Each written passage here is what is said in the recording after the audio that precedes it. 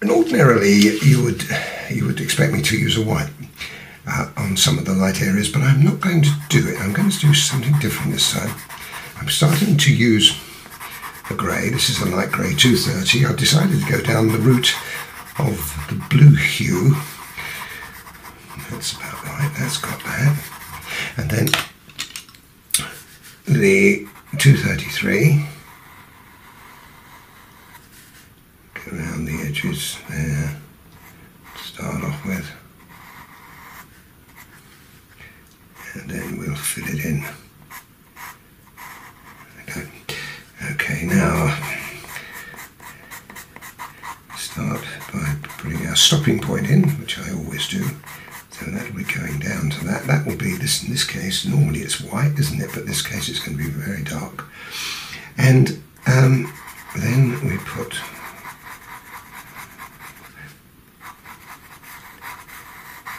the grey in there. I'll just do one here, and the other one will be almost the same, and certainly the same colours. Slightly different design, but you'd be able to work it out. In fact, the black cat is going to be very much repetitious all the way through. So I'm not going to be spending a great deal of video time on this because once you've seen it, the black fur, you can work it out for yourselves. But um, this is quite important to start off. Now that's the, basic idea. Now it's, it's quite dark in here, although I put the light on, there's quite a lot of depth in there. So I want to close up on that a little bit, like that.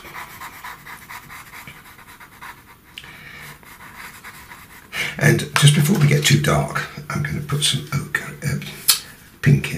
I'm using 132 I don't know whether I'm going to need anything stronger. I, I did get a 131 out, which is a bit stronger than this, so I might need it, but I'm, I'm not so sure. Now that's as light as it's going to get. So what I'm going to do now is I'm going to use the 181 and I'm going to go around now. You don't want to see me do all this, so if I just do a little bit, that's now darkening that. We can't put it on there because it's too dark. So we now will gradually close in on some of that area there.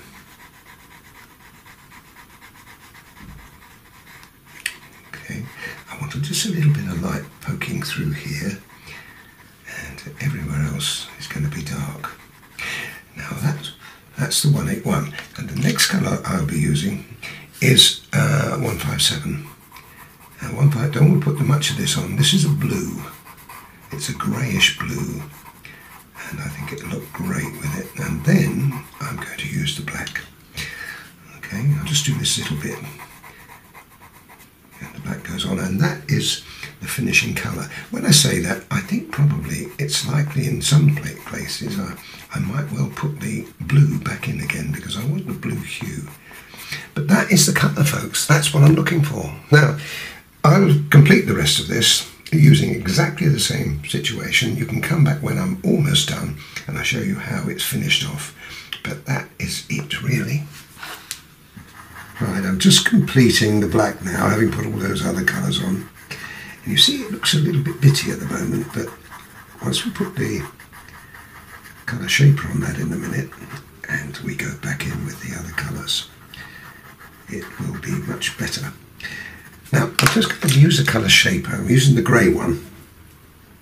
And I'm going to use the, you'll see there's quite a lot of dust on there. Now, I've got to be careful. I don't want to expand this beyond the picture. But it's an idea to have some of that dust, rather than just blow it away, to use it. And we're going to do that all the way through the picture. You see how that's much better. Now, obviously, there's going to be some of that I'm going to have to get rid of. But this is an advantage because now you can use the colour shaper on those lighter areas. We can always bring back the pink. But that is really working out really nicely.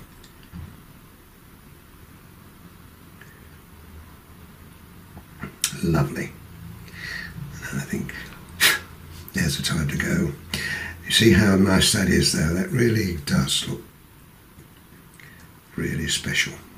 Now, there is not a lot of hair here, but we've got a little bit, so let's just put a little bit of the, the pink back in again, just to lighten it up just a touch.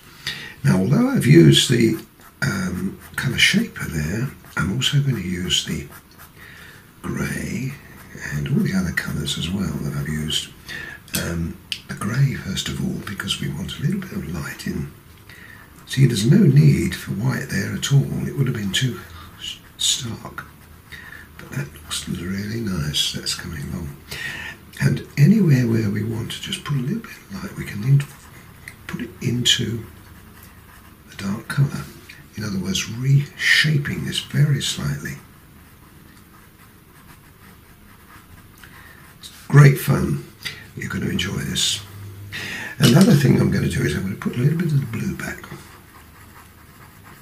157 and that you can see I hope you can see that. It gives it a really nice glow there. Now that's the colour that we put in between the 181 and the black. But now we're putting it back on top to give us that extra little bit of tone. Lovely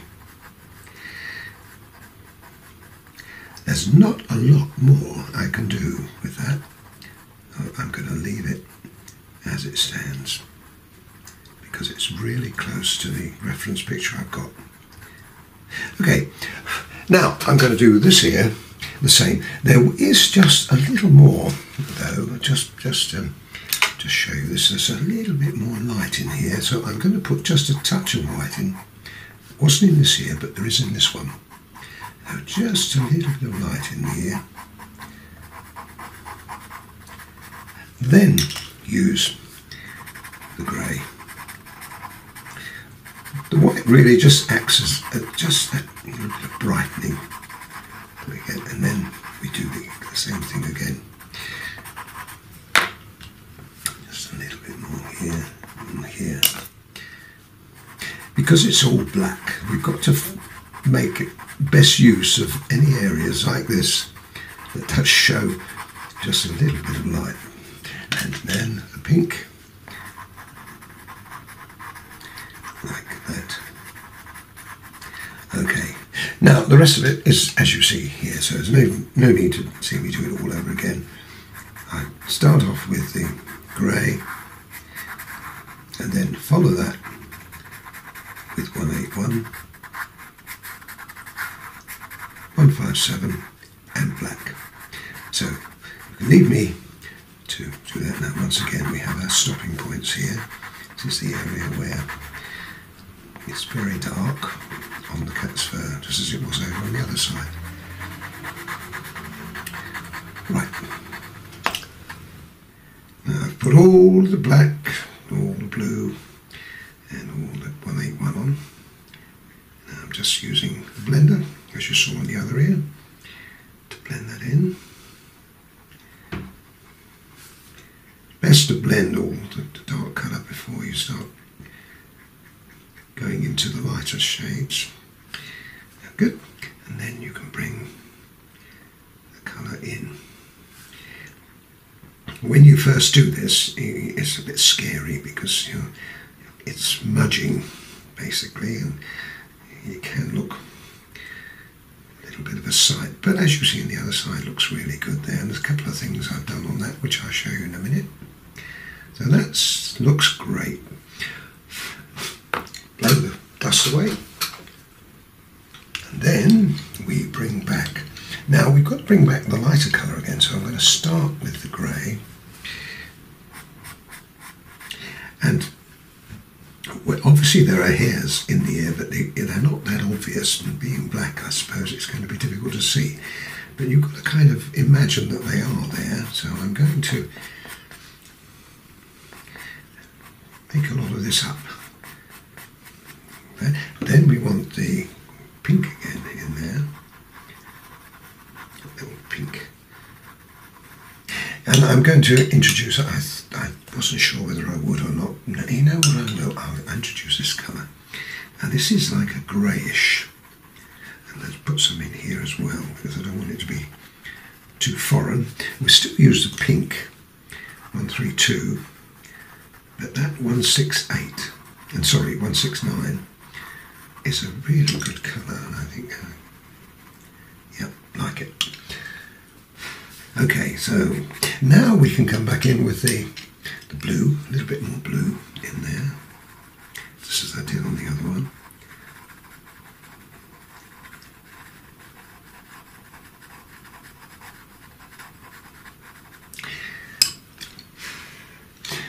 Now I'm going to use the white.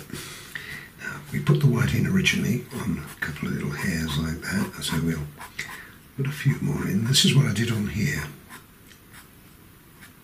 You've got to have a sharp pencil for this, but it does look really, really attractive. But also a couple of dark ones in. Use 181 for this. Combination of the two.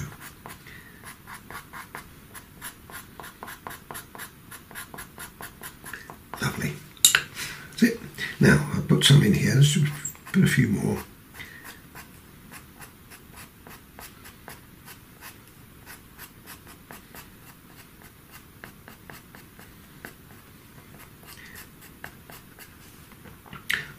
Lovely.